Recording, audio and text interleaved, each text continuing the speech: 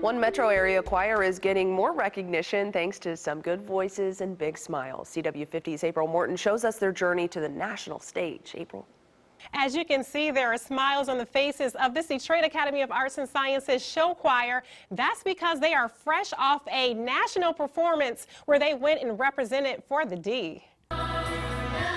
Continuing to make a name for themselves, the Detroit Academy of Arts and Sciences, aka DAAS Choir, giving a stellar performance at this year's PCMA Leaders Convention in San Francisco. And it was so amazing, like 6,000 people, people was listening to us, hearing us sing, and we had a standing ovation. I looked around and everybody was, literally everybody was standing up. King Bethel has been with the choir for over four years and like his fellow members is no stranger to the stage, having performed for some of Detroit's biggest events such as Hob Nobble Gobble, Detroit Goodfellows, and America's Thanksgiving Day Parade.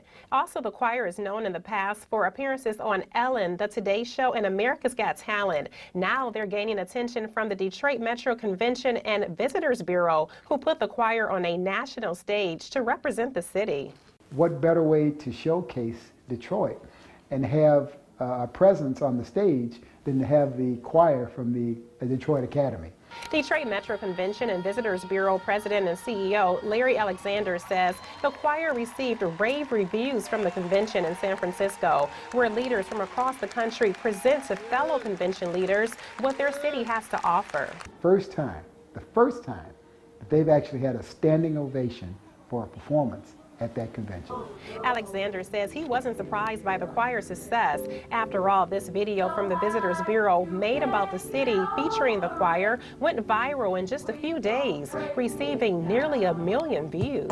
It was just great because it was we was around our city, Detroit.